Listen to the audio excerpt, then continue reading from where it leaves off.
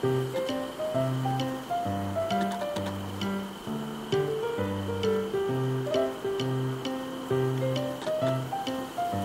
んにちは。北海道日高地方の養蜂場からです。今回は前回の動画と同じ日につまり8月前半の3日間に行った撮影の結果をお伝えします。撮影を行った日の昼の気温と天気はすでに前回お伝えしましたが画面でご覧の通りです。大半盆草とセイタカアワダチソウの黄色い花が互いに競い合うように咲き誇っています。これも前回お話ししたことです。ただ前回は養蜂場の災いであるミツバチヘギイタダニのお話をしました。それに対して今回は別の災いであるスズメバチのお話をしましょう。養蜂場周辺のスズメバチにどうも異変が起こっているようなのですしかも異変は一つだけではなくて少なくとも表面上は2つあるように見えますそこで今回はそれらの異変についてお話ししましょう。はい。まず、過去2回ほどお示ししたスズメバチトラップの結果表です。養蜂場に設置しているトラップにかかったスズメバチの数を時期別、種別に示しています。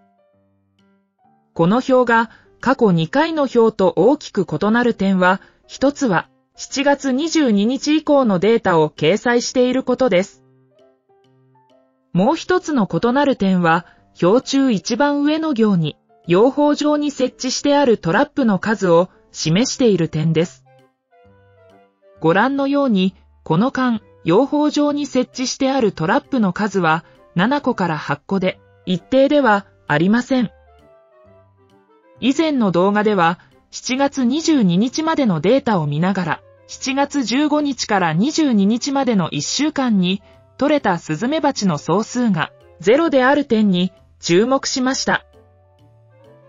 しかし、今回7月22日以降のデータを見てみると、一番下の行の取れたスズメバチの総数はゼロではありません。それどころか、7月28日から8月5日の間には最多の128頭ものスズメバチが取れています。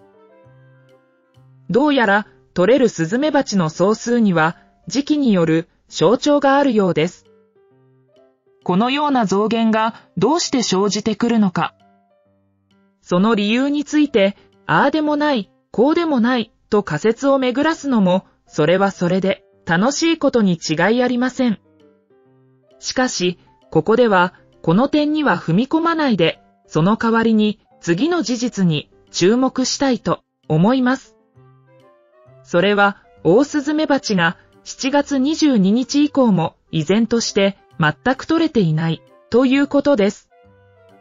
これは表の中では赤字の0の数字が示しています。したがって7月22日以降に見られたスズメバチ捕獲総数の波は他のスズメバチ、主にケブカスズメバチとモンスズメバチの動向によってもたらされていたということになります。これは不思議なことです。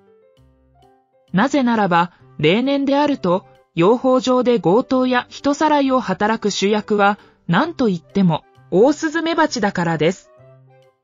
そうであるにもかかわらず、今季6月末以降、どうしてオオスズメバチは全く取れないのでしょうかこれはたまたまこうなっているだけなので、あまり気にしない方が良いことなのでしょうか。それとも昨年の秋以来、この養蜂場で熱心に取り組んできたスズメバチ対策が、ようやく結果を出し始めているのでしょうか。あるいは、これは温暖化に伴って自然界で起こっている様々な異変の中の一コマなのでしょうか。ともあれ、この地方でオオスズメバチが本格的に襲来する時期は例年ですと9月から10月なので今後もさらに観察を続けていきたいと思います。はい、スズメバチトラップの結果をめぐる2つ目の異変は捕獲される働きバチの体型がいずれも小さいということです。スズメバチは春先には越冬した女王蜂が単独で巣を作り、作った巣に産卵し、さらに働き蜂の幼虫の子育てまでをも女王蜂がやります。そして、働き蜂が羽化するのに伴って、女王蜂は産卵に特化してゆきます。また、幼虫の世話や巣作りなど、それ以外の仕事は、羽化した働き蜂が行うようになります。つまり、ここに、女王蜂と働き蜂との間の、カースト的な文化を基礎にした、スズメバチ社会が出来上がるのです。この社会では、後に秋になって、新女王蜂やオス蜂といった生殖カーストが生み出されます。こうした春先から夏にかけての社会形成の過程を反映して、春先のスズメバチトラップにかかるのは、もっぱら女王蜂です。それが徐々に働き蜂が混ざるようになり、さらに夏にトラップで取れるスズメバチは、すべて働き蜂に置き換わってしまいます。これは先ほど一番取れたと申し上げた7月28日から8月5日までの8日間にトラップにかかったスズメバチです。まず、ほぼ完全に働き蜂に置き換わっています。そしてサイズが非常に小さいです。ただ、サイズが小さいという点は、これを見ただけではわかりにくいので、次に、この写真を見てみましょう。これは、この日、1頭だけ取れた、モンスズメバチの女王蜂と、働き蜂を並べたものです。一番左の女王蜂は、体長が3センチメートルほどありますが、それ以外の働き蜂は2センチメートルほどしかありません。こんなに小柄で今年のスズメバチは他の昆虫を襲って果たしてまともに狩りを行うことができるのだろうかと少し気になってきますともあれ養蜂場に飛んできてミツバチを襲うケブカスズメバチの働き蜂が増えてきたのでこの養蜂場でもスモンのガードを始めました。ただケブカスズメバチも小さな個体が多くそうした個体は昨年まで使っていた B ガードを通過してしまうような気がします。そこで今年は今のところスモンの前には網を張るだけにします。この網の内と外の出入りの際には昨年の動画で詳しくお伝えしたようにたとえミツバチといえども当初は少し戸惑った様子を見せます。しかしすぐに慣れてきてミツバチは網をスムーズに通過するようになります。ケブカスズメバチは網をなかなか通過することができないようです。網越しにミツバチを捕まえようとしますがなかなかうまくいきません。網の上で長い時間もたついていることは実はケブカスズメバチにとって大変に危険なことのようです。1対1の戦いではケブカスズメバチに軍配が上がっても複数のミツバチが相手ではケブカスズメバチの優位は怪しくなります。今3頭のミツバチが1頭のケブカスズメバチに絡んできました。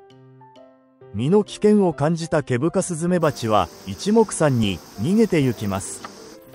こちらのケブカスズメバチはうまい具合に獲物を仕留めることができました。しかし養蜂場のすぐ横にある友禅菊の葉に一本足でぶら下がりながら彼女は一体何をやっているのでしょうか。ミツバチは無抵抗なのですでに死んでいるのでしょうか。この哀れなミツバチは幼虫の餌になるべくケブカスズメバチの巣に今や連行される運命です。その直前のひとときこのケブカスズメバチは自らの戦利品にむしゃぶりついて何らかの欲求を満たし楽しんでいるかのように見えます。ケブカスズメバチが噛んでいるあたりには蜜を貯めるための胃があるので彼女は噛みつくことによって染み出てくる蜜に舌鼓を打っているのでしょうか。他方で網の中に侵入することに成功した小柄なケブカスズメバチには悲惨な運命が待ち受けていました。今スモンの前ではミツバチたちが折り重なっていわゆる王宮を作っています。このおしくらまんじゅうの下にはミツバチが集団の力で退治しようとしている外敵がいます。外敵はかわいそうなケブカスズメバチです。日本ミツバチが宝宮を作ってスズメバチを退治するのは大変に有名な話ですが西洋ミツバチだってやるべきことはしっかりとやるのです。これが蹴りがついて王球が溶けた後に出てきた異性になったケブカスズメバチです。ということで今回はスズメバチトラップの結果を通して見えてきたスズメバチ界の異変についてお話しいたしました。キーワードはオオスズメバチの不在と働きバチの小型化です。こうした事象の背後にある要因や論理についても仮説は持ってはいますがそれについてはまた別の機会にお話しすることにしましょう。今回はここまでとしておきます。登録高評価で応援していただけると大変に励みになります。よろしくお願いいたします。それでは次回またお会いする時まで。ごきげんよう。さようなら。